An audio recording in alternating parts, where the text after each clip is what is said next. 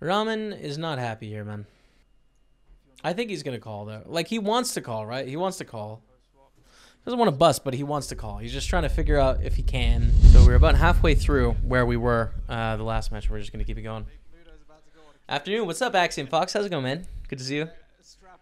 I despise Furs. That was a 100% penalty from JG710. Yeah, I don't know. Honestly, my first impression was like, like the Southampton fan saying it wasn't a penalty because there wasn't a lot of contact, but it's still, uh, I mean, it, it obstructed his ability to make the shot. So it seemed like it was. But again, I'm I'm not really confident enough to make a call either way. But the the game's over. We've won it, man. We've won it. But I think you guys did play better for more minutes of the game. Any home games this week evening? Uh, not from me. We have a home game tomorrow, Callum. So we'll be getting a home game going then. But uh, for today, just playing a bit of KO series. Actually, the first events have started up, so we're gonna hop into one on the side. We're gonna pick up the action here with Philipp Gruissem raising it up to nine hundred thousand. Mark's gonna three bet to two and a half million here. As we continue on, as we can see, we're 59 players left in the fields, and I think they play down to 16 or 24 today, something like that. Yo, Tough Spot, what's up, man? 17 month resub. Welcome back to the team, Tough Spot, you legend. Thank you very much, dude. Appreciate that. All right, action back on Philipp Gruissem now, who is calling. It looks like is going to call two and a half million. Okay, so we're going to go to flop six million in the middle. Flop is ace seven deuce. Dry board, not a lot going on here. We know this isn't a very good flop for jacks, but we can of course see the hands and know that jacks have nothing to worry about here. Uh, they may be a little bit uncomfortable. But what is Philipp Gruissem going to do with King Queen when he faces a bet? He pretty much has to fold. I'd be very surprised if he didn't. Because it's just a board that really favors Mark uh, being the re-raiser.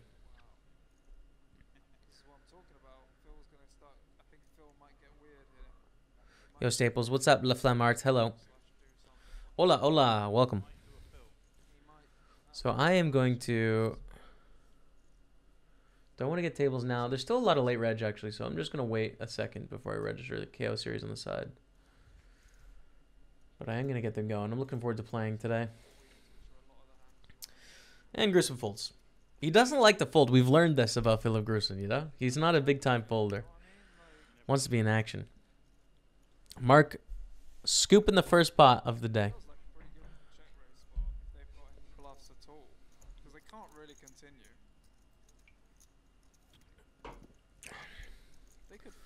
So how's uh, Phil doing today in the Galfond challenge?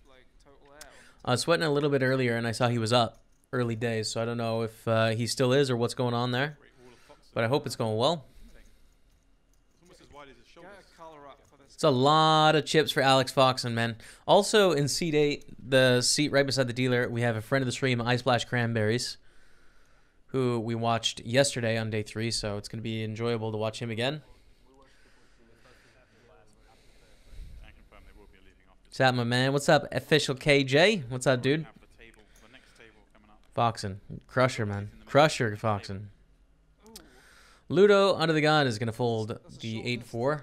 Two Party Poker Pros here, Ludo and Philipp Gruissem on the table. Second time, go ahead at Jacks here. Cranberries looks somewhat interested, but is just going to fold. The Queen 6 offsuit. Gives it up.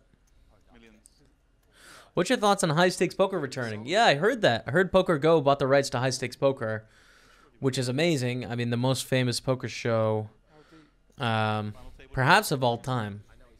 It might, like maybe the World Series of Poker main events, maybe WPT, but definitely the most famous cash game ever in poker. Uh, so I think it's a huge thing. I mean, hopefully more are developed.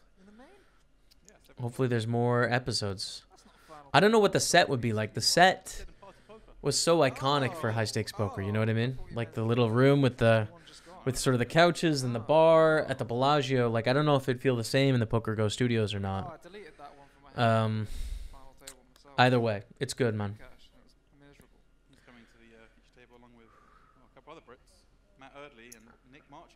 All right.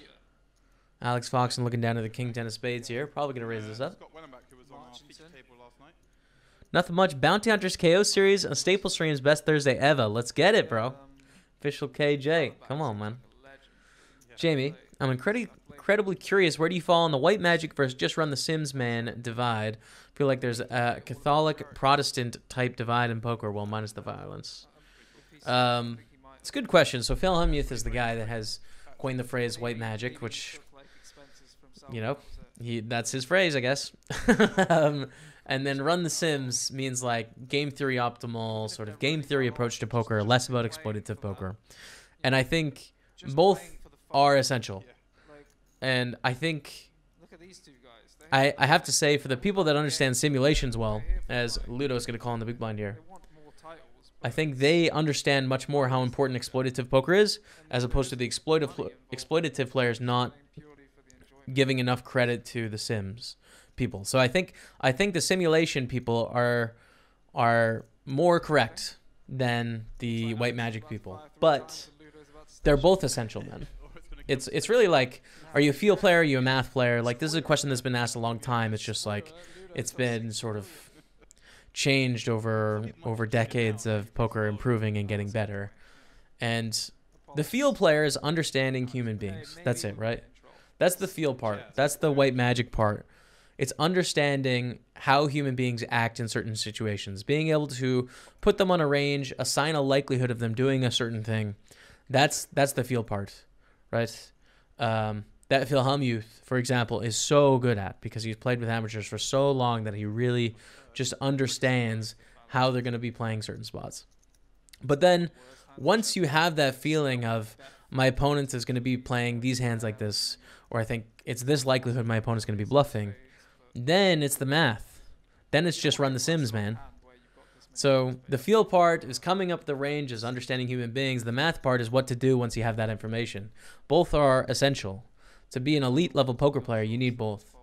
Um, you know, and people can sort of get by by just relying on one side or the other, but they're misguided if they think they're relying on just one. Uh, you know, so both are very important. Um, in the end, which is more important, the math, because you're guaranteeing yourself a certain level of success with the math, whereas with the feel, you don't have that certain guarantee. Um, looks at his man and decides. so I'd, I'd say the math is slightly more important. They're both essential to being successful at poker. Hopefully that answers your question. Anyways, picking up the action here, Alex Foxen's got the flush draw. Ludo with the call on the call to the river, three of hearts. Now this is a spot. Does Alex Foxen continue here? It's a pretty brick river. Checks the river. This is kind of a good bluff card for Alex. Ace four, six four. Does he pull off the barrel? Or just give it up? seven, Eight, eight, nine, six, eight. And how is Ludo feeling here? I assume okay. You know, he flops top pair, top kicker, calls flop, calls turn. Three is a brick. You know, we don't think Alex Foxen has too many six fours that just completed or or ace fours. Like it's just not that much. So Be a bit confused 'cause he's got the ace of spades. especially for a bet of 4.3 million, He's extremely high up his range. I feel like Ludo's gonna just call here. jacks at all. Ace seven is pretty. One of his best hands, I would think. two pair, I guess. Yeah. What's up, Gunners? Welcome back, man. Ed K in the building as well. What's up, Ed K? What's up, Gunners? but You beauties. super high up the range. Just hate them. I think Ludo calls here, man. You can't get away from the spot. Yeah. There it is.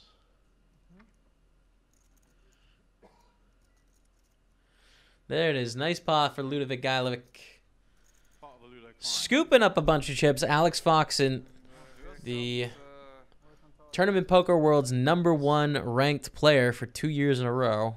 Losing a few chips there. Out to the field, we're going to take a look at one of the outer tables. That's going to be the next feature table. All right, so we're actually going to switch up to this table.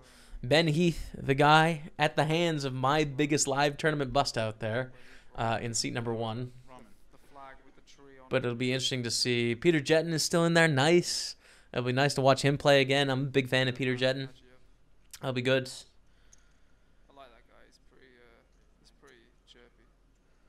Uh, is. That Nick. Marchington or not? I don't know. blast off in the main. I'm not sure. Don't know who this player is by face. Either of these players. But I like I like the quick veggie hype. I I believe the older gentleman is Scott something, right? Guy donates a lot to charity. He's had some decent runs in tournaments. Don't know C two yet, and then Ben Heath, uh, legend of the game, man, very good player, very good player. We played a big hand in Barcelona where he took all my chips. It hurt. Set over set. Scott Wellenbach, that's it, Ed. Thank you, Scott Wellenbach. Who's the mindset coaching guy? Ten, ten, Jared Tendler? Oh, yeah. that the guy? Okay. Did some work with him and he's been absolutely destroying. So I don't know how many hands we're gonna get on this featured He's table. talking about, before we switch up, but we'll see. that he did, something. Thanks for showing these. I enjoy this. Cheers, Mville Kid.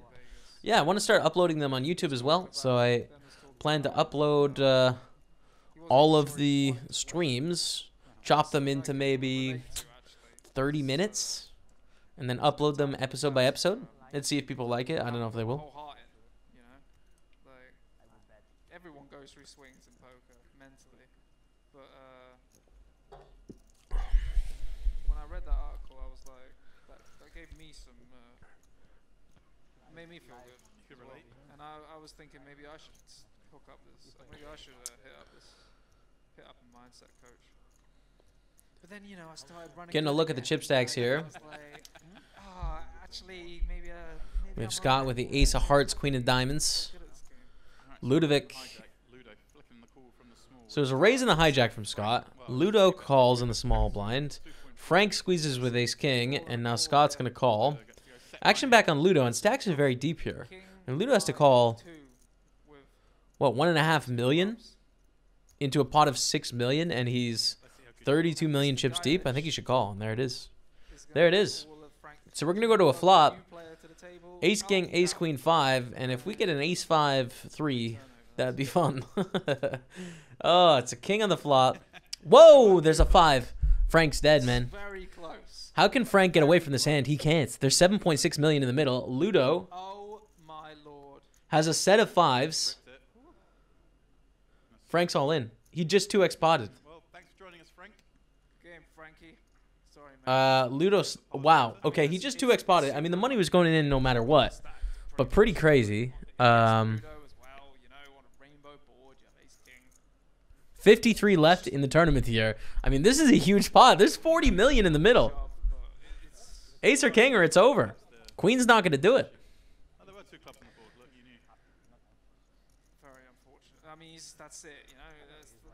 Ludo, with the set of fives, is going to take it down. Frank. see any situation where Ludo Mysterious Canadian Frank is out of the tournament in 53rd position. Still a decent payday. I mean, hey, because it's all right.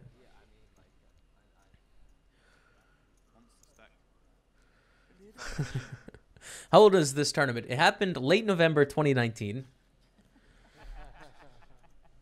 Uh, so pretty recently. It hasn't been streamed on Twitch before, so I think it's new to Twitch, anyways. there he is, 54 million. All right. Just like that. Who? Yeah, who would have known? Oh, Ludo scooping some chips.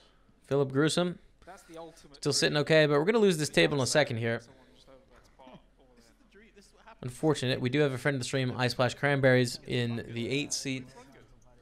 I feel like the Party Poker Pros are just friends of the stream, in that we're teammates. You know, I feel like that's fair. It's a fair thing. When, like, four buy-ins. What positions are you in the money? I think it paid 90 or 80, so we're already in the money. Hampton champ. You saying you wouldn't take that? Yeah, I'd be, I'd be pretty happy with that, I guess. But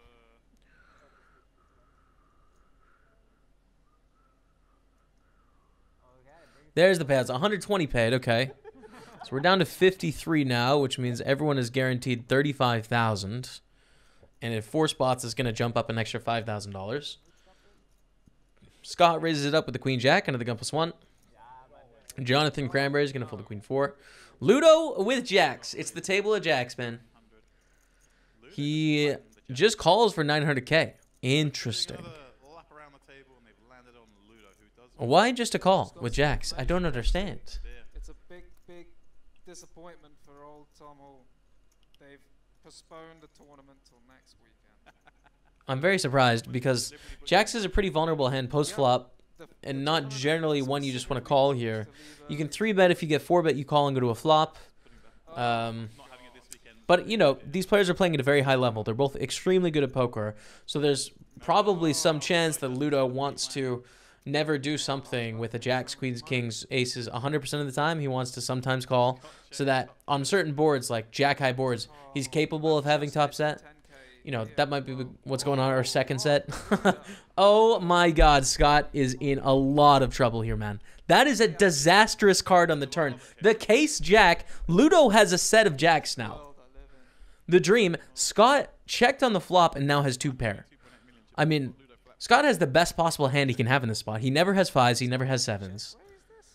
Like Queen Jack is the nuts for Scott. He's got to think he's got the best hand for sure. Ludo's always going to set, bet a set of fives and a set of sevens on the flop, and he's not going to call queens hardly ever, so he can't have a set of queens. Li- literally, this is so crazy. Ludo should not be able to have anything good here, and Scott just turned top two. This is the sickest thing, and I I have no idea how this is going to play out because stacks are incredibly deep. There's five million in the middle. Ludo pulling out the raise. It looks like. And Scott bet 2 million, and these players are sitting on 40 million plus stacks. Ludo's going to raise it up to 6.8. Scott get away for any amount here. Right, I mean, Scott- How is this going to play out? I'm, like, is Scott just going to call here on the turn? There's a lot of draws out there potentially, so maybe he wants to raise back, or is he just going to call and then call the river? I don't know. I don't know. I mean, it's very clear he's not folding. that would be insane. I can't believe that turn card. That's so incredible.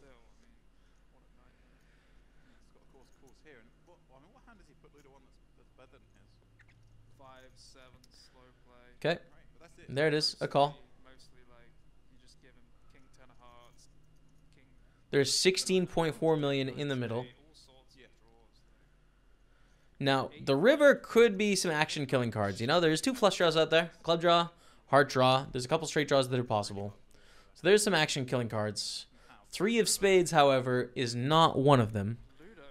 I don't think Ludo ever has 6 4 suited here. Again, if I'm in Scott's position, I'm struggling to find a really strong hand for Ludo. very few value hands.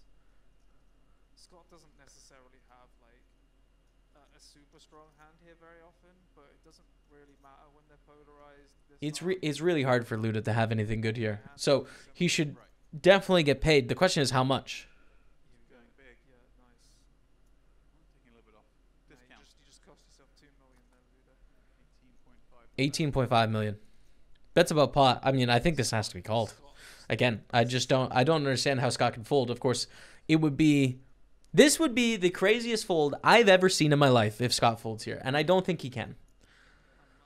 But if he does fold, I really question whether I've ever been good at poker because it would be too incredible to me. It'd be too crazy. Be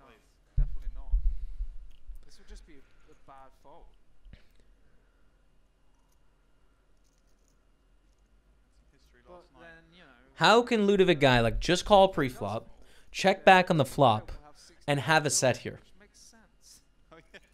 It's almost impossible. He has to just call with jacks pre-flop and have hit the case jack.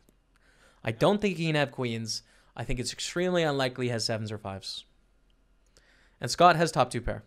How could it happen?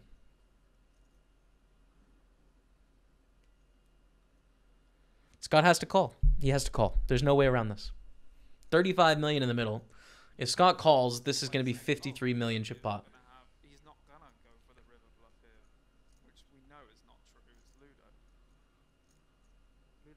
Give up very often, does he? It's all been plain sailing for Scott. Now he's facing a bet for half his stack. Scott really considering here. I think he's gonna call though. How uh, you, like you just can't. Even if you think it's possible that Ludo called with fives and sevens pre, which he's going to do quite often, and he checked back, which he's not going to do the mass majority of the time. So, I mean, he has to first hit a set with his range. He has to second check back with a set, which he's not going to do very often at all. I mean, on a on a queen seven five with two clubs in position, forty million chips deep, you're not checking back like bottom and middle set. He can't do it. He can't do it. How did he do it? How did he do it, man? How did he do it? That's the sickest fold I've ever seen. There is no better fold. That's the number one fold in the world as of today, 2020. That anyone can fold that. There's no better fold in poker that has ever taken place. That is the player Scott is Nostradamus. That's the only way. That's the only way. What am I even doing playing this game, man? How can people, like human beings in the world, have top two, fold on the river? You can't do it. That guy's no. Uh, he is superhuman. You can't do it. Can't do it. I am so demoralized as a poker player right now.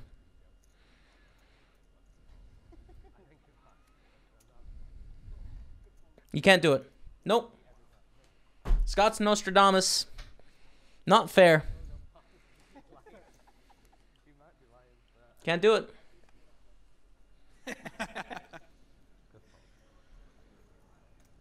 I mean, that's that's one for the highlight reel, That's like insane. lifetime. Like not just not just this tournament. Like The guy talking right now is Tom Hall, like one of the one of the sickest graphs online tournament poker players ever. I've literally that's the most impressive fold I've literally ever seen in my life. Ever. Ever. I can't I honestly just I'm I'm struggling to figure out how he decided to fold. I don't understand. Like I understand like you could just take it back to level 0 like ah I thought he had it. But man, these are extremely high level poker players. Like Ludovic guy has an image as a very aggressive player. He's capable of bluffing.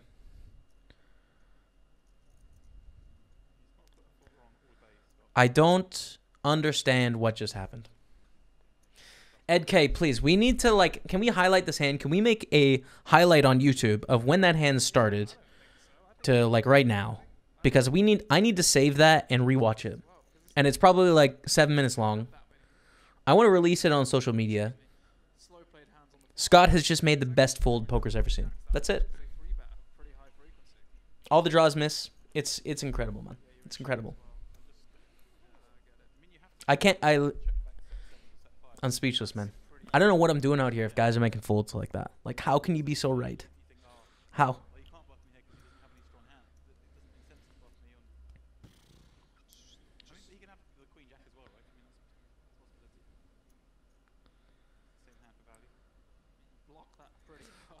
can't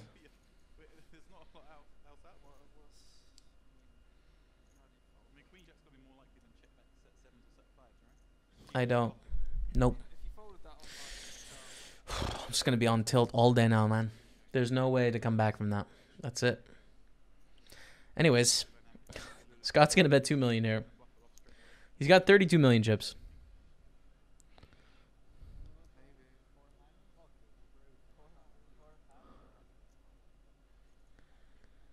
He bets and takes it down.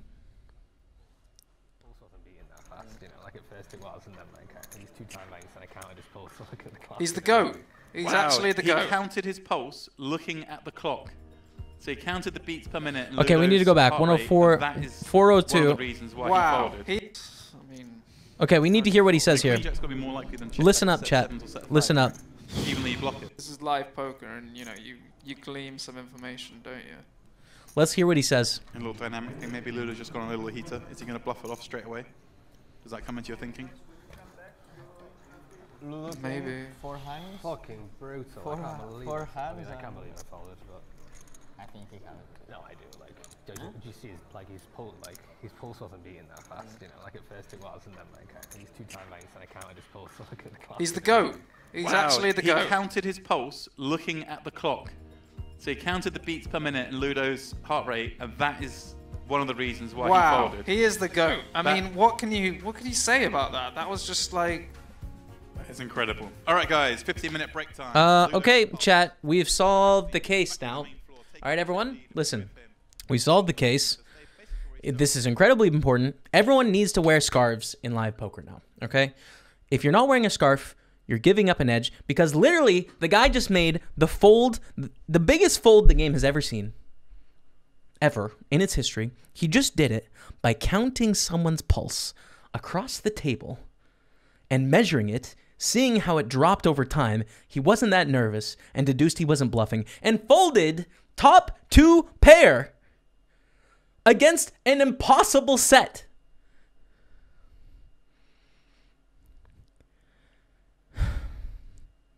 You need to wear a scarf. That's the main takeaway here. Also, any companies that sell scarves, buy stock. Ed K, if it's possible, if we can clip like that whole hand analysis after in like a, you know how you can Twitch highlight like 10 minutes or 12 minutes or whatever, if we can get the whole thing, Just so many chips on that one, right? because that that will blow up on YouTube. Like I can't believe the world does not know about that hand yet. Probably because it was it was cast on Poker Go and like you need to have a Poker Go subscription to see it. But now it's released like that should be an iconic hand. as a learning experience as well. That like. I'm blown away, man. I'm blown away. All right, we've got a new table here. we've got a new table. We've got Scott and Nicholas here in the big line. Nicholas has 25 million chips. All right.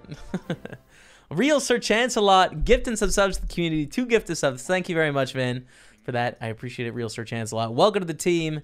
Mutzi of five. He gave all his Courtesy of Real Sir Chancellor. I appreciate it. Thank you, dude. legendary.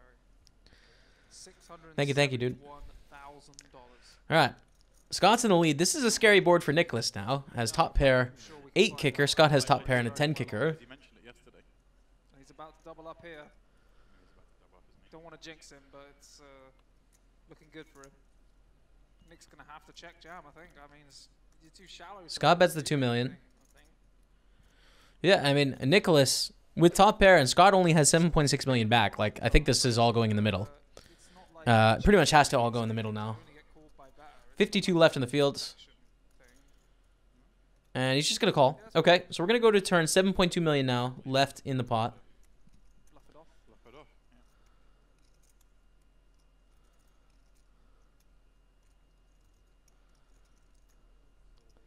Jack of diamonds on the turn. Wonder what Scott will do here. I think he'll shove, but not 100% sure.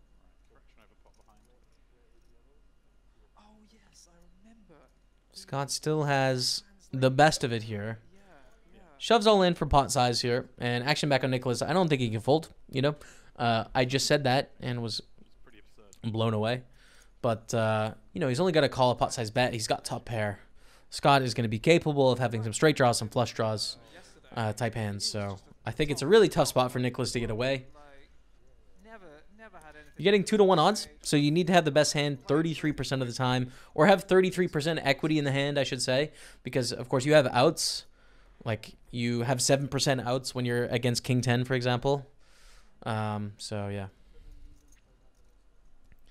Jamie, is it this one? I want to send this hand to a friend plus the commentary. It it blanked out the the link. Um, can you whisper me the link and then I'll be able to see it? I mean, if these online kids are making reads like that chance does everyone stand? Nicholas calls, Calling here is king, of course. and that's the situation. Bit of help. Six or seven. That's the situation. Seven percent red Nicholas, an eight, and only an eight. don't think anyone Three outs. Outdraw this guy. That's what I was about to say. I don't think anyone wants to necessarily bust him because he's a super nice dude. And if he wins, there's a good chance 1.3 finds its way to charity. Yeah, it's a win-win for Nick. Not quite, but uh, Jack on the river. Kings and jacks with a ten kicker. Scott is going to double up to twenty-two million now. Still at fifty-two left in the field. Nice hand for Scott.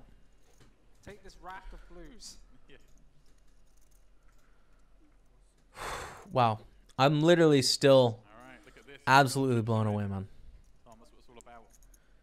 Flick Absolutely blown away like the worst timing that that went down like that. He's, he's lost all his chip. uh, You slide this racket, you get two here's chips your back. uh, here's your new chips. Uh, oh, sorry, you've got to pay them off. I'm just gonna give them straight over to this gentleman.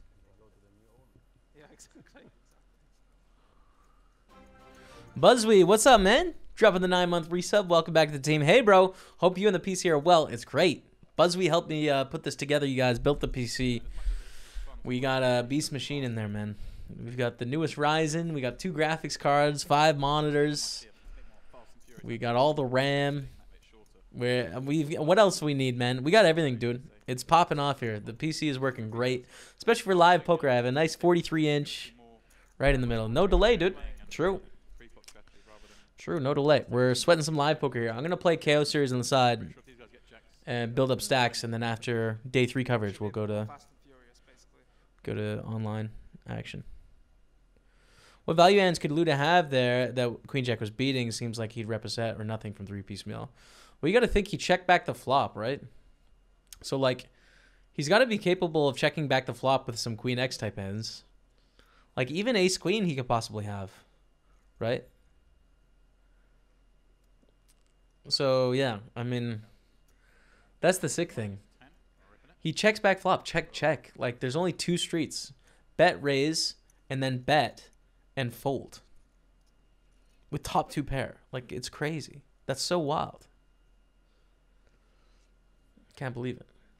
All right, uh, Kelvin's all in here with the ace 10 from Brazil. Vamos.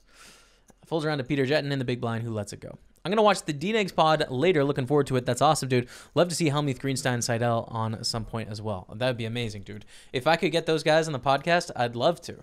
I can't think of ever seeing an interview with Seidel. I don't know if he would agree to it. I mean, I've never met him, but I'd love the opportunity to talk to him. Hellmuth, I've met before and I've talked to.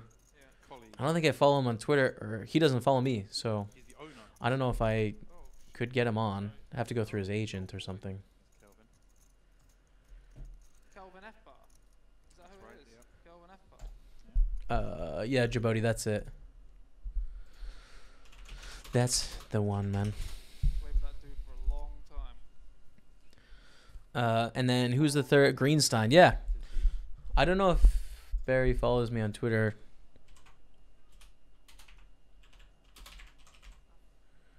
Barry Greenstein. He does not. He follows 41 people, and it's not me. I don't know. Maybe if maybe if someone could get a hold of Barry Greenstein, I'd love to have him on. It'd be great, man. All right, Matthew from the UK is going to raise it up with a queen jack here. Now, Ben Heath in the big blind, looking down at the ace of spades, 10 of clubs.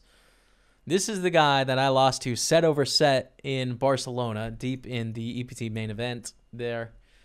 Uh, but I, have, I also met him in Vegas like four years ago, four or five years ago. He was in Gripst House with Charlie Carrel, Gripst, and uh, um, really nice guy, like really smart, incredibly successful at poker as well. So I really like him. He's a good dude, and he is a beast. You're right. I think he's a good good guy, man. Uh, three bet shoves the ace ten here against Matthew, who isn't going to be able to call with the queen jack, obviously. So why do half of live poker players look like they're homeless from Gunners? I think I think you're incentivized to show zero emotion. You know what I mean? You're incentivized to look almost like bored or uh, not interested, because any emotion is uh, is a way in. You know, that's why I think. Think about Ludo's check back on the flop is if he didn't have a good hand, why wouldn't he bluff on the flop instead of checking back and raising the turn from three piece mill? But but the thing is though, like under the gun has to check a lot of their range because of that board texture, right? It's queen seven five, uh, two clubs. Ludo calling on the button. Under the gun has to check, or under the gun plus one has to check quite a bit because being out of position is a big disadvantage. And Ludo's gonna have all sorts of hands like suited aces, like even some suited kings, all sorts of queens they're gonna want to bet. And yeah, he's gonna have some pairs uh, and sets as well. Um, but he's gonna have all sorts of draws. So like he's gonna actually bet bet a decent amount on the flop, and would want to bet second and third set because under the gun plus one is capable of having, you know, a queen can have queen jack, can have queen ten, can have king queen. You could get potentially three streets of value out of, right? Uh, is going to have some club draws that might go for a check call that you want to start, to get some money out of. So that board doesn't really favor under the gun as opposed to the to the button. You know, uh, under the gun has the over pairs, whereas the button just flatted, so they probably don't.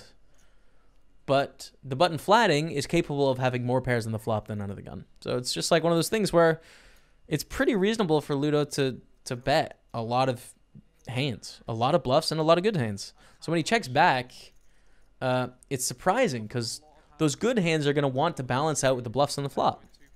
right? So it's like generally showcasing some sort of showdown value, which of course it was with jacks, right? Queen seven five, you have jacks.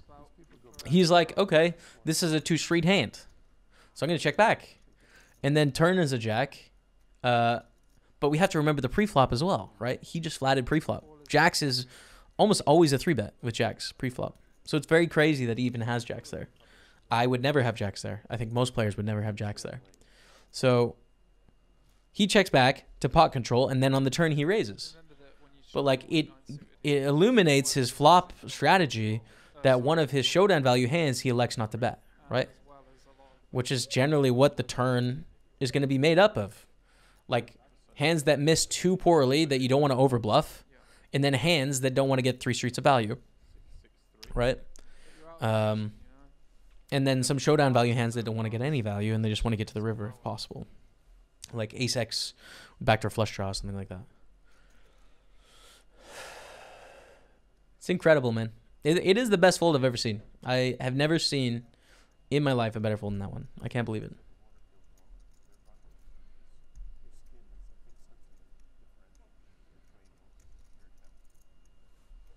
It's too scientific for me. Anyways, Nicholas in the cutoff with the ace four.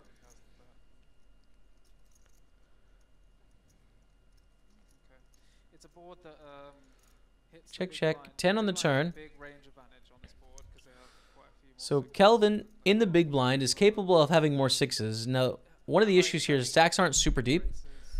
Uh, I find myself checking a bit too much in these spots with ace high. Nicholas uh, would like to get the showdown, I think, and it doesn't necessarily have a hand where he needs to bluff on the flop. He could go for like a very small bet and get Calvin to fold some equity. Especially with stacks being so short, it's difficult for Calvin to just like check jam it in there. But uh, he checks. Looks like he's giving up on the turn, and this is one of those hands that if you bluff this one, you're pretty much just bluffing every miss, you know, because you're you're capable of bluffing spades, of bluffing all the straight draws and stuff like that. So you're if you're bluffing queen nine offsuit, you're bluffing like basically your worst hands, your least equity hands. So. I'm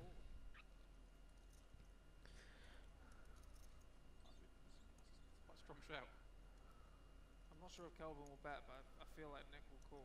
You don't really have a ton of better hands here. and uh, Calvin here on the on the river deciding he wants to bet or not.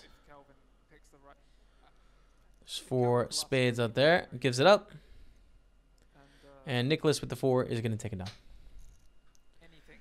If that guy comes back to a scarf for the next tournament, it would be hilarious. Never again. Uh, Ludovic Geilich, man. Yeah. I mean, he he's on the Party Poker Team Pro, so I should ask him about that. Like, if we ever get him on the podcast, I want to ask him about it. Be like, hey, listen, I know you lost the pot, but please talk about this hand because it's an insane fold. It's really crazy. It's yeah.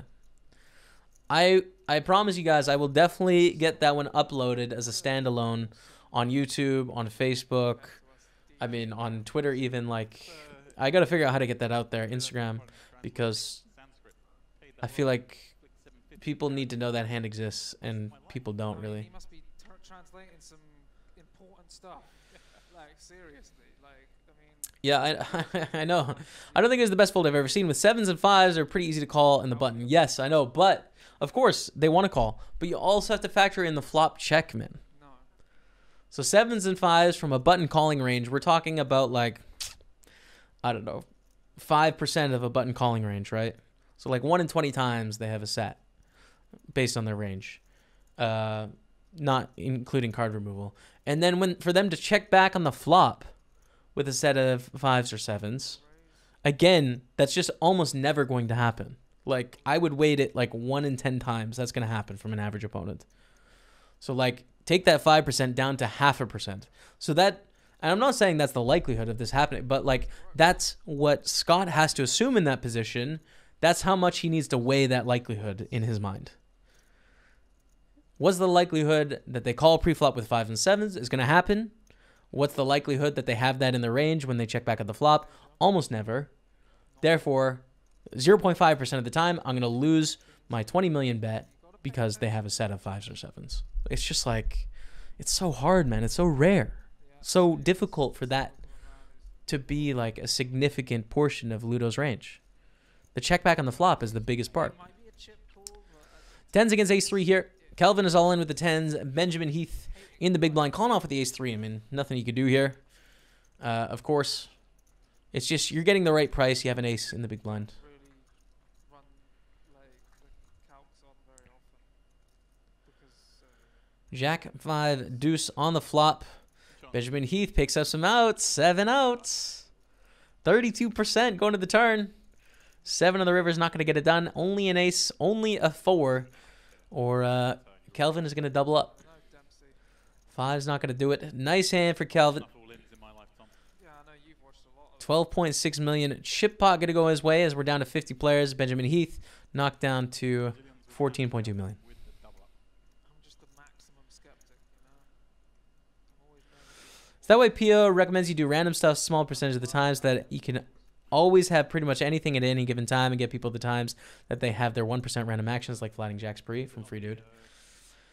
Yeah, along that extent, although I'm not the most eloquent or uh, educated enough to speak like really well about why Pio recommends to mix strategies, but I think you're on the right lines and that's my understanding of it as well, which is in certain situations if you if you do something all the time with aces in certain situations it makes it so that your strategy is exploitative or exploitable right?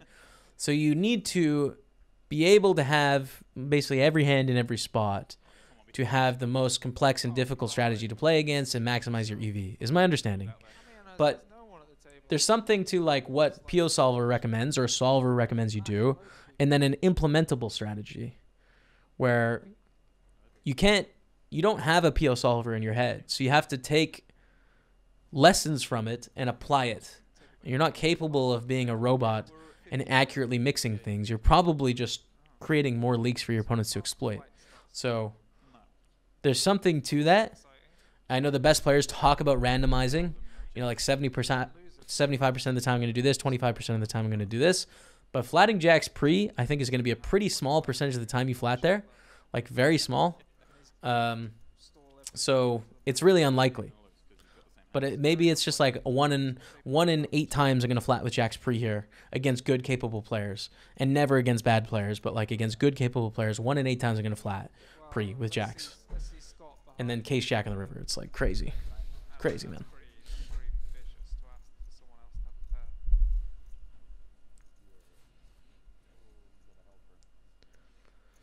So Ace King, Peter Jetten in the hijack here, looking down at 6.775. He's going to shove in a second, but he's got to take a little bit of time here because you have to remember it may look like a slow roll We can see they both have the same hand, but you got to remember there's people behind Peter Jetten. So if he's just like all in and snaps it in quick, when your opponents behind you have a close hand like jacks or tens, you may get them to fold if you sort of illustrate how strong your hand is. So he's got to take a second just to be just so that he opens up the opportunity for him to have a close spot, like a like a sevens or an eights or something like that. So that's what's going on there. Again, the, I mean these guys are playing for huge money, like insane money. Exclamation mark payouts if you want to see it in the chat. Uh, let's see where it is. Trying to scroll up and see it. Yeah, so tenth place gets 100k. So we don't even have the final table payouts there, but a lot of money on the line, you know. Ace King, Ace King, chop it up. Nice hands, nice hands. Peter Jetten used to have a podcast called Root Bone Radio with him and a couple friends. One of them was Snagglechild. I don't, or Snaggle Chid or something like that. I don't know how to say it. It's really good, man.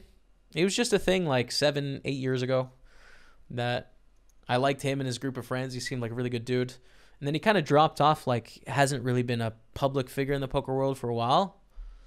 So it's good to see him like out here competing in tournament poker and stuff. Seems like a nice guy.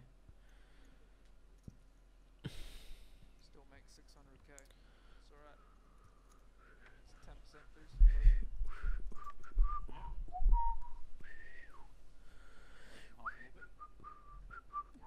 both. How's Mr. Galfond doing today, man? Nice. He's up. That's cool, man. Good luck to Phil. Nicholas, under the gun, is going to raise it up with the Queen 10 suited. Peter Jetten with the 9-6 of clubs. Bad position. A lot of players behind. Let's go. Here's the Ben Heath man with the Ace of Hearts, Queen of Spades. Very good hand. Sitting on 14 million chips. So I think the big blind is 500k. It might be 400k, but I think it's 500k. This year I spent two. Let's see what he elects to do here. He can just shove, but probably more common is going to be three bet call or call. It does just call here.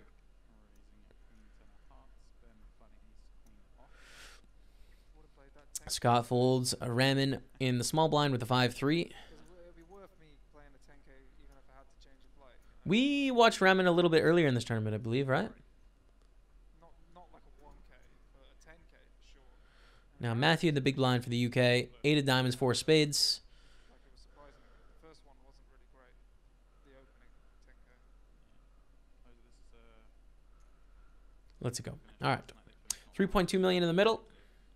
We can see Ben Heath has a much better hands with the ace hearts, queen of spades. But Nicholas probably likes his hand. Queen ten of hearts is a pretty hand, dude. I like it. Ooh, queen six deuce, one heart. This is really bad news for Nicholas. Uh, ben, ben Heath, I mean, top pair, top kicker, a pretty dry board. Nicholas starts with a check here, which in the queen jack hands is like the sorts of things you're going to see with some weaker queens, right? Which is why it's such a slam dunk bet with a set, which why Ludo almost never has a set the unless he has the jacks and the case jack hit on the flop. Like it's so unlikely, man. It's so unlikely. It's crazy. It's- it's crazy. I can't believe it, man. feel like they're much more likely vogue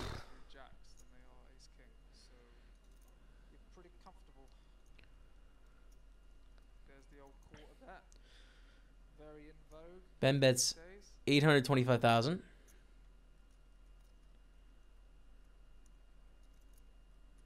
And Nicholas going to continue in some facet. Looks like just a call yet. I mean, I, I think I like this here. We can see the hands, of course, but if you can't, you're thinking, I have top pair. My opponent's going to be bluffing a decent amount of time. Might as well allow them to bluff and just check. Ace on the turn. Okay. This allows Nicholas to get away from his hand. This is a scary card for him. I mean, probably not on the turn, but probably by the river. Uh, and Ben Heath with the top two pair now has got a love life. Uh. Jean Dom. In how much time are you going to play today? I'm going to actually fire up a tournament on the side pretty quickly here. We'll be streaming online poker probably after the day three coverage. So in a couple hours or so. A couple hours from now. But a 3 3.2 million. Ben Heath.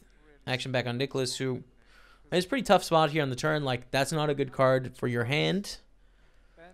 You are typically gonna have a decent amount of aces that raise under the gun and check on the flop. So.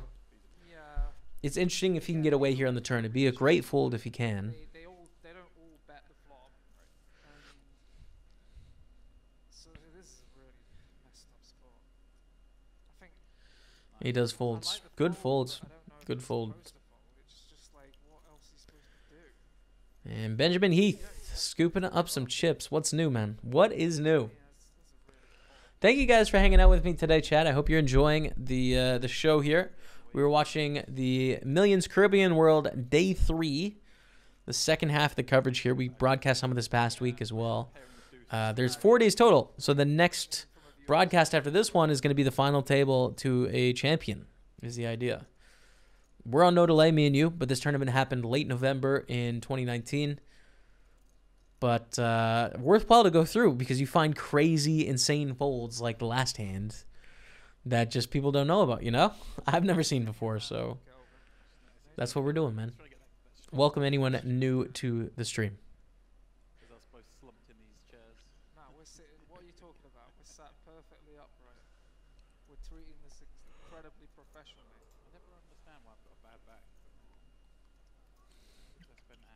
Kelvin in the hijack. I need a drink as well, man.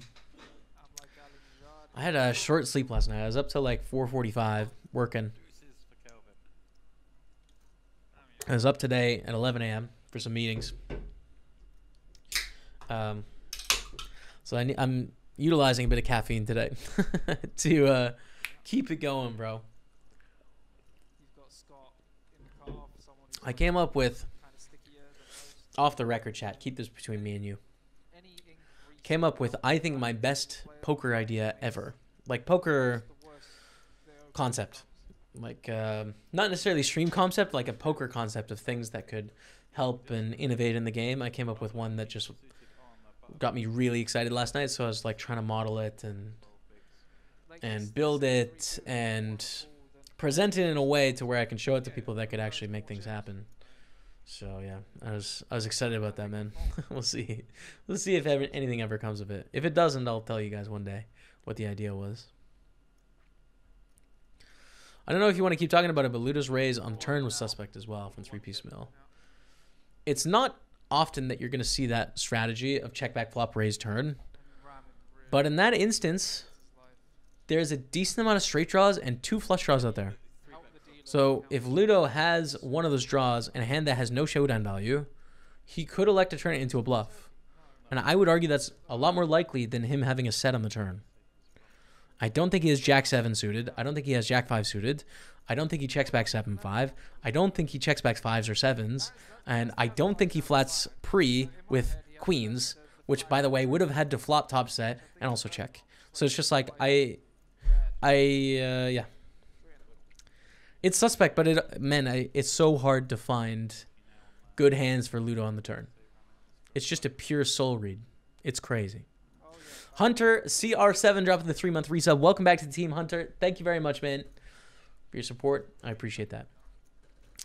Thanks for making me a better poker player and great content. Much love. Thank you, dude. It's very kind of you. What is Ramen gonna do? Putting the time bank out. I mean, does not seem interested in folding here. Ace three of hearts.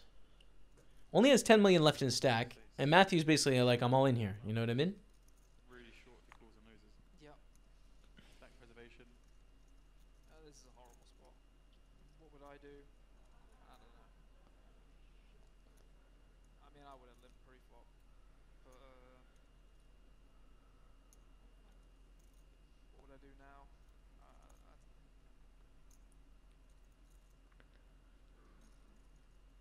Early's range contains Jack ten suited, King Queen offs, King Jack off, Queen Jack off, maybe.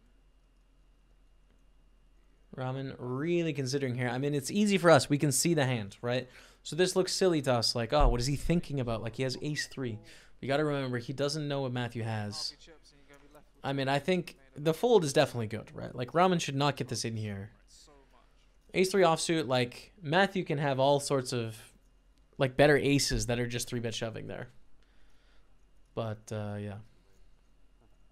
That's when you say, oh, I might be busted in 30 minutes. About one hour. Have to wait all that What, extra one hour is it now? Yeah. I thought it was 40 minutes.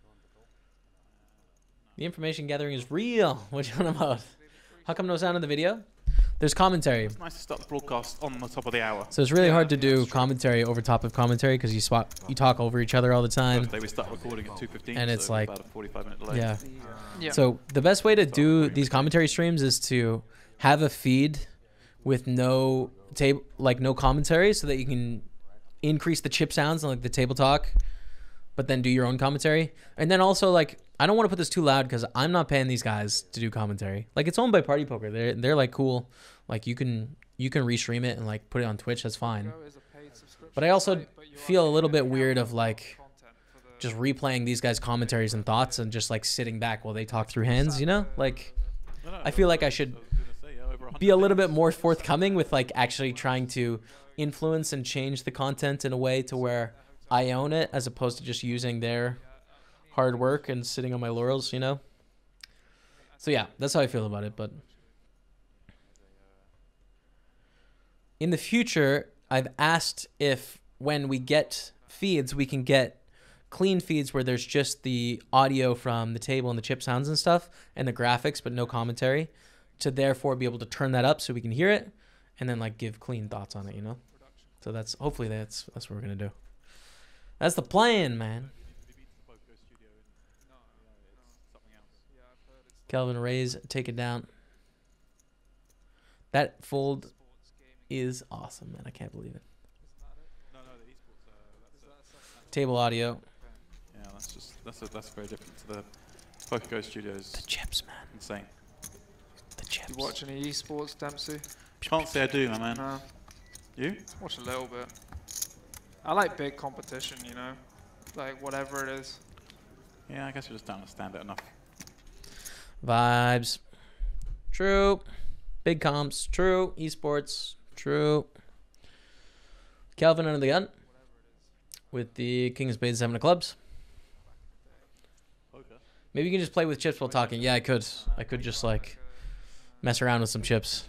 I actually should get some because uh, I've got some chip tricks, man. I can do some things like from my live poker grinding days. I could do some stuff that I think the average Twitch viewer would find kind of cool, but? I don't have any. Don't ignore me, honey. Hey, Evolved HH. What are you talking about, man? What are you talking about? What's your problem, man? What what what'd you say to me, huh? What'd you say to me? Can I hear a welcome to the climb one day at a time, Dreamers Unite? Let's go. That's all you get, man. That's all you get, bro. okay.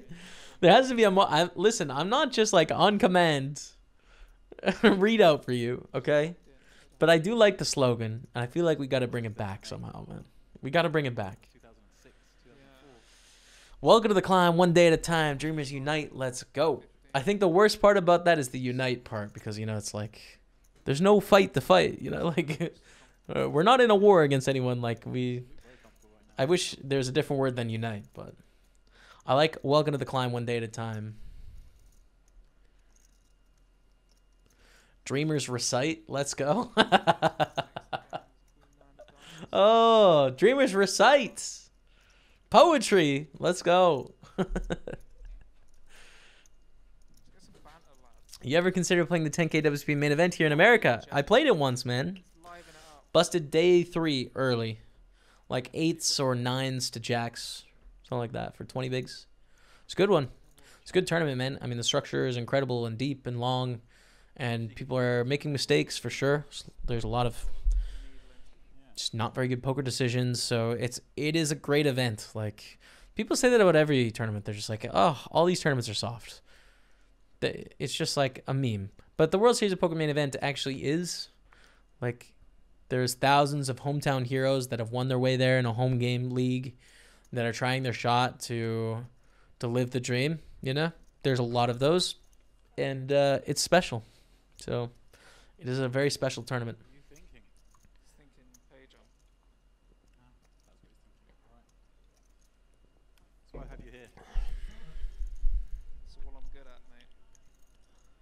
Nicholas here in the cutoff with the Ace of Clubs, Eight of Diamonds. 12 remaining in the last longer for a 10k seat. Peter Jetten Free money added by Poker. looking down at garbage, man. 6.1 million, not a lot of chips. 49 players left in the field. I think we're on a pay jump here, 5k pay jump. They want a opted in and registered more in patch. the first hour or so. Is there a place to go for poker staking, or you just have to know some people? There's like open marketplaces that exist. Like uh, Poker Market was a place I was sponsored by like four years ago. So they had an open market then. There was also two plus two uh, marketplace. If you want to figure out how that works, um, I think U Stake is more open as well. Uh, Stake Kings just acquired them, We had the, the huge I was, a, I, I was just Um, thinking that with the 100k. but Stake Kings is by invitation only. that, uh, it usually gets So that's the thing. Um, but for 10k, for a 10k Yeah, that's kind of it. And then there's like stables, you know, that will back players for like longer term agreements as opposed to one off kind of staking stuff. Uh oh, Calvin. Uh oh, buddy. Nicholas raises in the cutoff with the ace eight. Calvin calls the big blind. And look what we have here. Trip baits for Nicholas. Calvin flops top pair. How many coolers have we had this this uh, day three coverage? Right, pretty crazy. by the river, Queen Jack's actually kind of worse than Queen 2.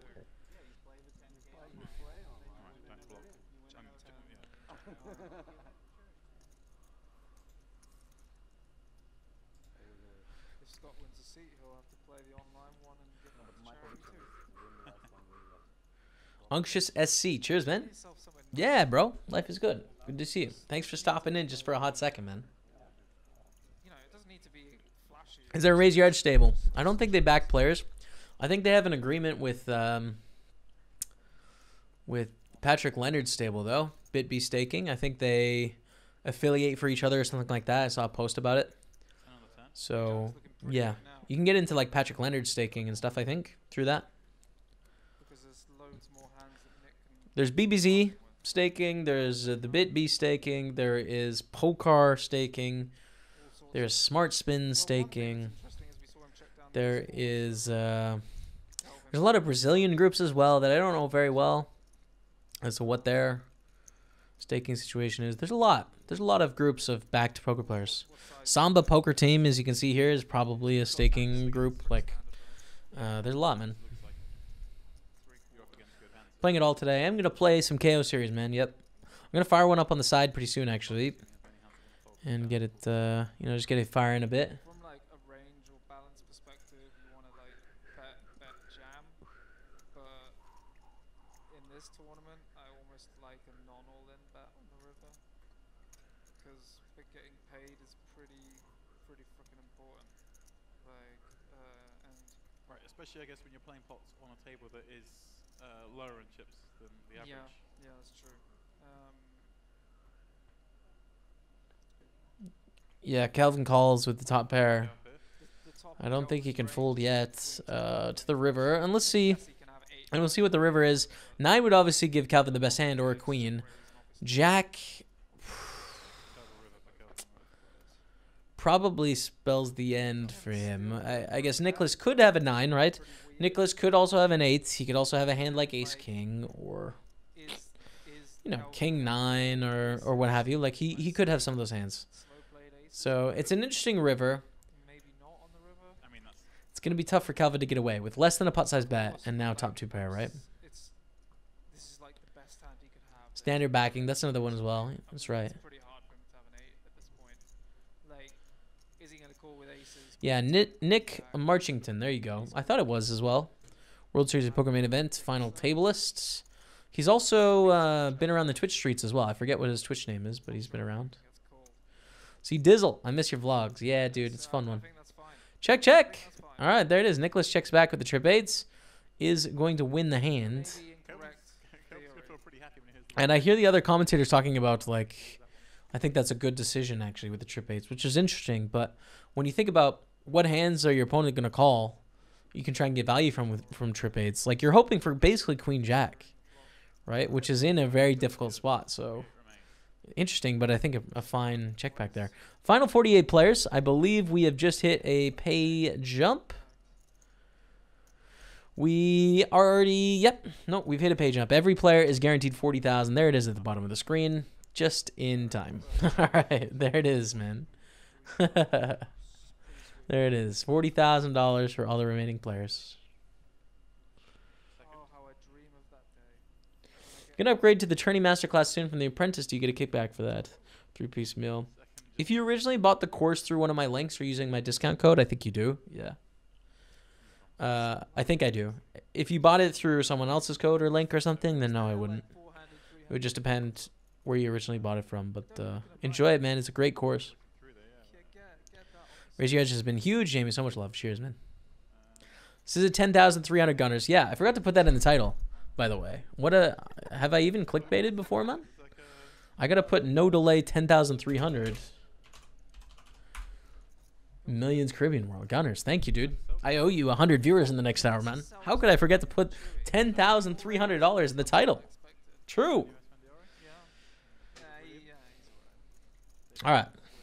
In action here, Ramen with the King Jack suited. Scott with the 7 3 suited. Flop is Jack 9 deuce. Ramen with the top pair. King of Spades kicker.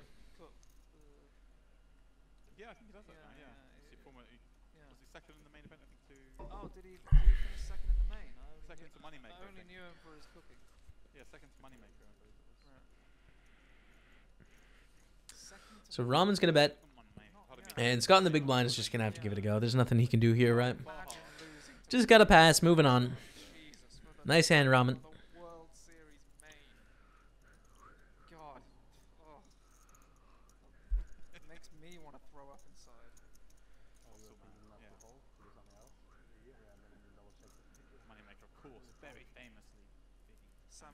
A lot of bracelets, man. That's a big bracelet game. What do you guys think about it? I'm kind of just noticing now. Big time commitment. I mean, I think it's cool. I've never been a bracelet guy, but it does look good to me. 30 minutes feels so much heavier. But is it not cumbersome? You know, like that's a lot of scratchy, scratchy on the table. Walking around things, you gotta be careful in the bracelets, man. I know, I'm worried. But I don't have to play poker tomorrow now. Peter Jetten in the hijack with the nine and the nine. This is gonna be a play here. He's sitting on six point one million. The big blind has five hundred thousand, so he has twelve big blinds to start this hand. Peter Jetten, nine. Twelve bigs. Going.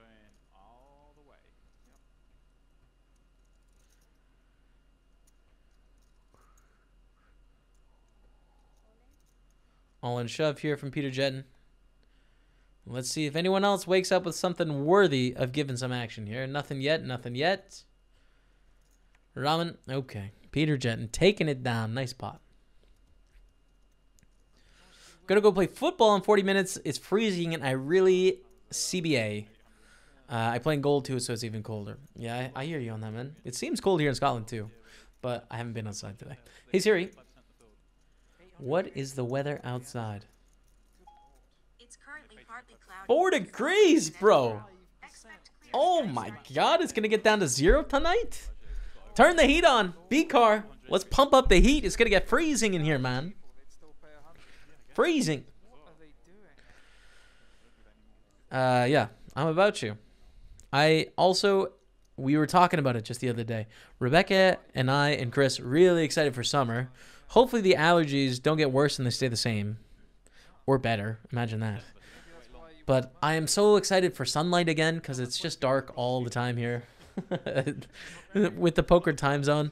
And in the summer, it's only dark for like two and a half hours, maybe, and it's not like fully dark in Scotland, which is great. You know, like I'll be able to stream and go outside, and it's like dusk, you know, at midnight or at one in the morning. Can't wait for that. And then a little bit of heat, man, it'll be nice, or like hotter than three degrees. Yeah, he's got the club. It was absolutely arctic when I came to Scotland. I would retire from football if I had to play up your way. Yeah, bro. I feel that. I feel that, man. I feel it. I won the KO Series 6 low. Djibouti getting it done, man. Was a low prize. The trophy's still cool. Hopefully you'll get one too, and in the big one. I hope so, man. How often do we expect It would be, yeah. I just, I want to get one. It, it reminds me, I should register uh, the early KO Series here. King, Queen, Jacks, Jack 8s. We could do a flop of 10, 5, 3. Nicholas Marchington still has the best hand here, raising out of the gun. Ramen has missed, and Scott has missed as well. Ramen seems interested in playing pots, though. I don't know. We'll see what happens here.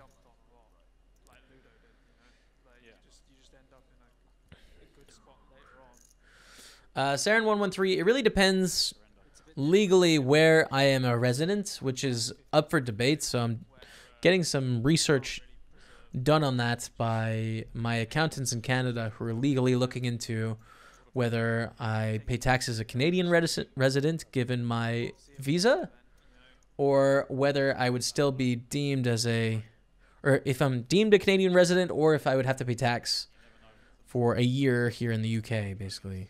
Um, if I pay in the UK, my understanding is I don't pay tax on poker income.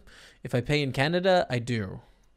But still, my preference is to pay taxes in Canada because Canada is my home, and uh, it's going to be very complicated and expensive and stressful if I need to short term switch who I'm paying taxes to. So we'll see what happens. Don't know. Waiting on the accountant's sort of deliberation on that. Man Illusion, we don't have any prop bet for Team Online Pros Banking. Uh, there is a contest out there for the first one to win. Can win a ticket, but uh, no, no, we don't have any contests amongst ourselves. Team Online. Aaron. From the United States of America with 58 million units. Wow, I missed that. That is a lot of chips. See the bundles of red chips. Feels good, man. Whoa! Scott, you can't you can't put him down to an overall strategy. You No, know, I know. Just he's Rama's gonna He does things his own way. looks like he's regretting it. fold the nine three suited. Matthew in the small blind, 7.2 million with the sixes. This is going to be a play. The standard move is all in, which it looks like he does here pretty quickly. Nicholas folds, and uh, nice pot for Matthew.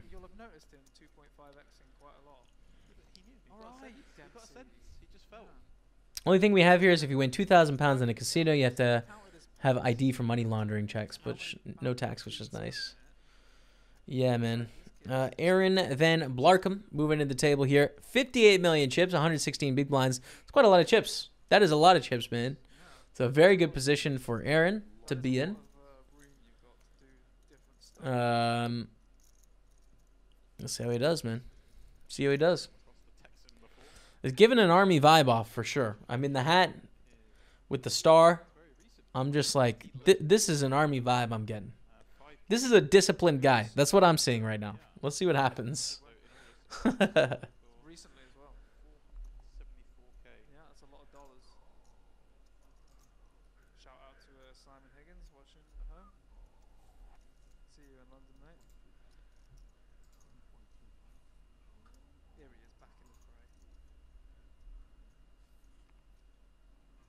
50, best bet. Scott raised it up to 1.2 million. Ramon's gonna fold. Hello, Rebecca. How do I know these things? Whoa, Rebecca is going driving, man. You driving to the store? Chris is making me because I drank his last Red Bull. That's a good call. Matthew's all in. Ace King against Ace Queen here, probably. Let me think about it. Come sweat. You want to sweat? Chris, come sweat. Twitch Open champion. Ace King, Ace Queen. I'm assuming Scott's going to call here. What do I want from the shop? What are you guys having for dinner? And you should. Unknown. Unknown, eh? Hmm. Hmm. Just get some dinner. Oh, he called. He called. Ace King, Ace Queen. Two clubs for the Ace King as well. Matthew's in good shape. Scott has got a big heart, though. I like his shirt. Scott shirt? Yeah. Mm. Good shirt from the B car has been called. Oh, Whoa! it Eight, eight seven deuce, twelve outs. Going to the turn. It's basically a flip now. Forty six percent for Scott. Turn card. Ten of diamonds. There's no help. uh, Twelve outs remain. Twenty seven percent. Or Matthew's gonna double up. Big sweat. Four will not get it done. Uh, it is a low patch, pocket patch, the rec patch. But I think he's a very successful guy, and he donates his tournament winnings to charity and stuff. Like he's he's well off, so don't be too sad for him. And he's also a legit guy. You know, chat. So what are you guys gonna eat for dinner? Do you know? There's no stories. Not quite sure. Do you want something? I want some dinner. Some dinner would be good. Something to eat. Soup game? No, we got soup at the fridge. A soup overload, man. So much soup. Want some nice bread and sandwich meat? Yes. Yep. And some vegetables. Perfect. Amazing. Thank you. You guys are the best. Have fun. Drive well, B cart. Jimmy, cheers for the streams, dude. I'm gonna be away for a bit. Don't miss me too much. Jim no! No, Jim. Stay. Aw, Jim Lad, where'd you going, man? Where are you going, dude? Please don't leave. Come check in at least. No internet? Check in. For just a second, say hey. Just, you know, take attendance like once a week or something like, hey, still here. See you soon. Please, man. Play poker with Scott at least a hundred times. He's from Halifax. Oh, okay. Have you? Leg TV Maximus Black. What's up, bro? Good to see you, man. Um, from Halifax. Normally plays one two no limit. So what's his story then? Do you know his story really well? Uh, Maximus Black is it? Is he like a very successful guy in life, like in business or something like that? Um, but like poker's his hobby. Because that's the story I know, but I don't. I don't have specifics really.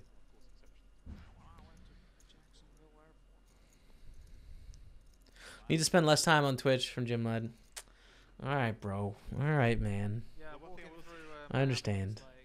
Like, uh. Okay. milk, bread, bread. Still pop in. Still say hey.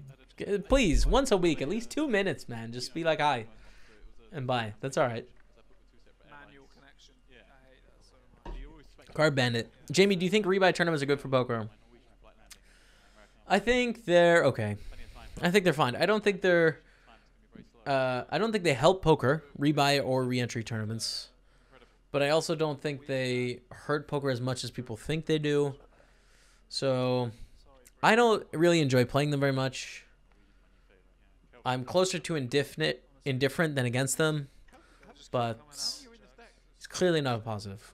We must have seen like jacks like 11 times or something. Kelvin's gonna raise it up onto the gun with the jacks. Nicholas now in the cutoff with eights. Gotta like his hands. I mean, again, I think the standard move here with eights is to three bet, get it in. The big blind is 500,000 chips. So Nicholas has got to be thinking. Kelvin, to start this hand, had 17 blinds. It's okay. I mean, this that's fine. But it looks like Nicholas is just going to. Oh, no, there is the three bet. Okay, 2.8 million. I was confused for a second. So I think it's going to be a three bet call. Aaron with the king three folds in the small blind.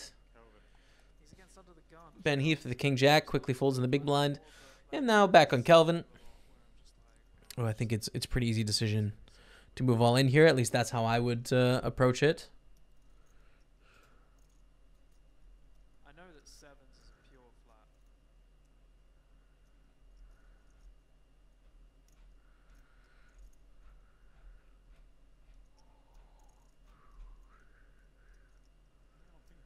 I mean, honestly, That's the all in.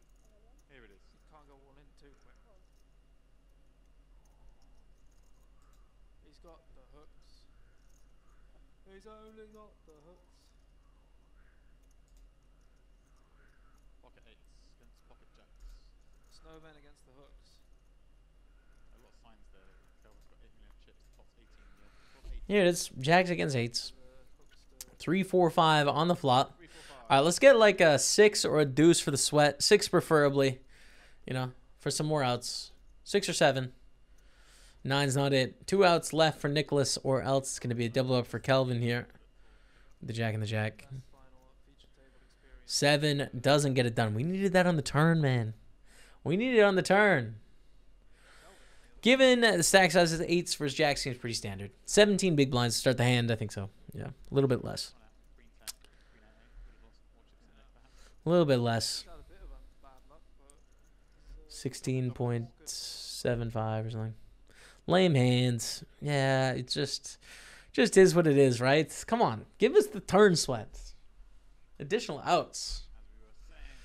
Thank you guys very much for tuning into the stream. If you're just tuning in, and I should actually get a table going on the side, so let me I'm gonna open up my party caption, turn off table manager so that I can register a year or $10 a month. KO series. So I'm gonna get a 55 going here. And there's always some promotion when you want to play this on the side. We're going to continue with the commentary until the end of the day. I think we have about three hours left of live poker commentary, but we're also going to try and win a KO series as well. That's the plan, man. So thank you guys for hanging out. Let's keep it going. $55 KO series on the side. Probably just skip the early 530. There's a lot of higher stake stuff later on in the day as well. Like the um, to start the tournament. 320, 8 max, 55, 8 max, 320 and 55 PLO, 109 fast, 530 turbo tonight. It'll be some good stuff, dude. Start with the 55 though. Actually, pull it over right beside the chat so that it's easier to play while watching you guys. Um, okay, so we have an answer from Leg TV Maximus Black. Pretty sure he made his money off being a translator. I remember him talking to the table a while about it. He knows how to speak a lot of languages, but I'm not 100% sure how he made his money. He's at the poker rooms almost every day of the week. Amazing, dude. I'd love to meet this Scott guy. I'd love to meet him. That sounds really cool, man. Thanks for the, the context on that, bro. Jamie, what do you think about the pros these days not showing any emotions when the cards are on their backs in all in situations from Rookie for Life? Well, here's the thing, man. It's a difficult question. Um, the thing is, from a pure game perspective, like them as a player, I don't think they have any responsibility to create a an entertaining show or an entertaining stream or anything like that. I think everyone has a responsibility to be polite and to deploy good etiquette, but I also don't think they have to entertain, right? And I think it's a common defense mechanism for poker pros, especially online poker pros today, to learn to not show emotion. Because emotion is weakness. You know? It's not, but it, it can feel like weakness. It's like a way in. It's a way to crack the solid outer case of a player. So to care about something opens you up to disappointment. It opens you up to failure. It opens you up to huge fluctuations in how you feel. And that's not helpful in poker in a game that has a ton of variance. And it's not helpful to give yourself up to your opponents like that. So it's pretty natural to just be even keeled as much as you can all the time. And it makes sense that the best performers tend to be like that.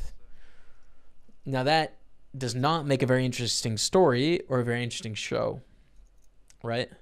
So that's a problem poker content has, poker media has, poker storytellers have in trying to convey the game the way it is, how those of us that love it know it is. But I don't think it's a problem that the players have. I don't think it's their burden. I think it's the storyteller's burden.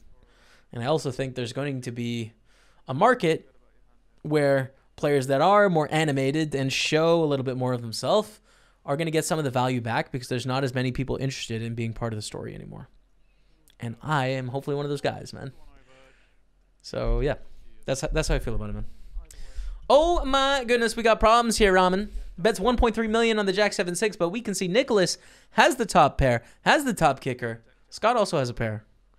But Nicholas feels good, man. 11.6 million back. Can we get a love in the chat for Killing Bird 63 months? We're talking 6-3, man. I've been streaming for that long. Did you guys know? And Killing Bird every single month reached into his wallet, opened it up, took out the fives, slapped it down. It means a lot, man. I appreciate it. Thank you very much, Killing Bird. Well, here we are again. Good to see you in the streets today. Cheers. Thank you very much. If anyone in the chat hasn't checked out Killing Bird, he is an American guy, streams in America on the American sites, generally late nights. Uh, awesome dude. Check him out. Go check out his stream. Hang out there. Get to know him. He's awesome. Thank you very much, Killing Bird. Thank you. All right. So Nicholas just calls with top pair, top kicker. It's, honestly, I think we're kind of just done with it. They have a lot of jacks in their range. What, what Deuce of hearts on the turn. floats do we have? Not This is not a scary card for Ramen. Ramen might get in trouble here. When you just get called, you have eights. Like the, you're bunched up. I feel in a corner here. I'm like, oh, what do I do? I have like an underpair. It might be good. It might not. Like, do I bet? Do I check? Do I check call? Do I check fold? Do I check raise all in? What do I do? It's hard. He's Ramen's in a bit of a corner. The stacks are so tight. It's claustrophobic this hand. And Nicholas has got to feel fine. So let's see what happens.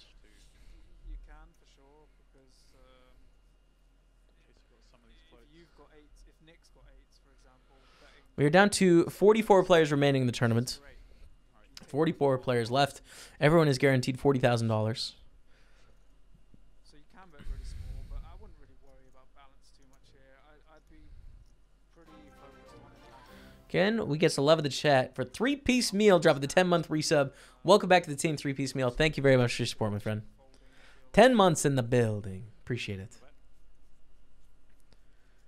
Ramen ain't no fish. He understands that Thank you, thank you, thank you. opponent's got a range of range. You're far too kind. Ramen had like better, he would just keep betting. So ace jack suited is like almost always ahead. Yeah, an ace And this is what I mean for ramen. win a ton. Kind of stuck in the corner. It's just like a hand that you don't love and you don't hate. It's just there, and you got to make some tough choices. it's right on the edge. So Ramen's gonna call. Okay. Now this leaves 10.6 million in the middle, and Ramen has five and a half million back. Let's see what happens. Queen of Hearts. So another potentially scary card for eights, but I don't really think Nicholas has very many queens. But it doesn't look like a good card to eights. And Nicholas now has an overcard fall. Also, the backdoor flush draw got there, so he's got to consider that. I think probably we'll end up checking here, I would guess. but people don't tend to flat very wide. In mid. I mean, he's trying to get called by a seven or eights or nines or tens. But he does go for the bet, and he might get a call here. I mean, it's there's relatively few hands Ramen can call. This is one of them that he beats. But if Ramen folds this, then Nicholas should probably check. Then he's only getting value from like Jack 10, Yeah, right, 'cause the, the clock Jack. I mean, under the gun plus two, like Jack 10, Jack 9 suited. And king jack. Not much, man. This is too thin of a bet, I think, from Nicholas. We can see he has the best of it, but I'm like, I want to count. Uh, can you cut those down? Make sure they're twenties.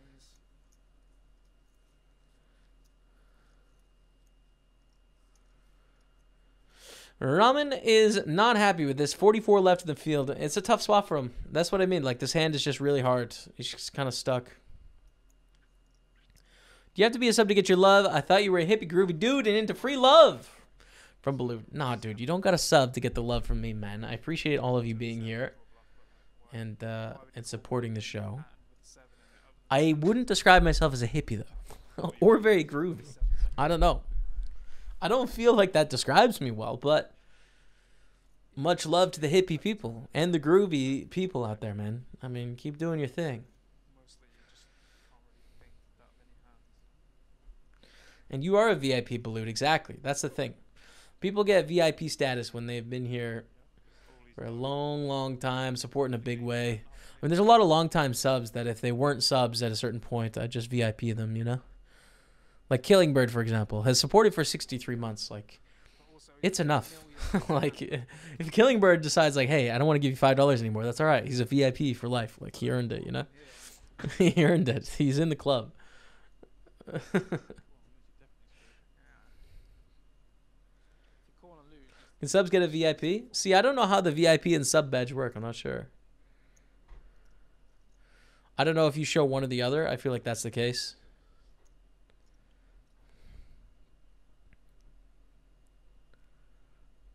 also you could just shove free. It's a lot. Twenty bigs under the gun. Seven hundred. Ramen is not happy here, man. I think he's gonna call though. Like he wants to call, right? He wants to call. Doesn't want to bust, but he wants to call. He's just trying to figure out if he can not call or if there's some reason he shouldn't call. But this to me is like. I think this is a call. I'd be very surprised if he folds. We'll see. He does block some bluffs on the flush got there. I don't think he should call. but I think he will. You're right though, Djibouti. He blocks he blocks the draws he's hoping that Nicholas has. of- it's, it, it can be it can be lower variance. Oh, Nicholas has a flush by the way. Oh. By the way, breaking news, Nicholas has the nuts. I thought he had second pair of jacks. There it is.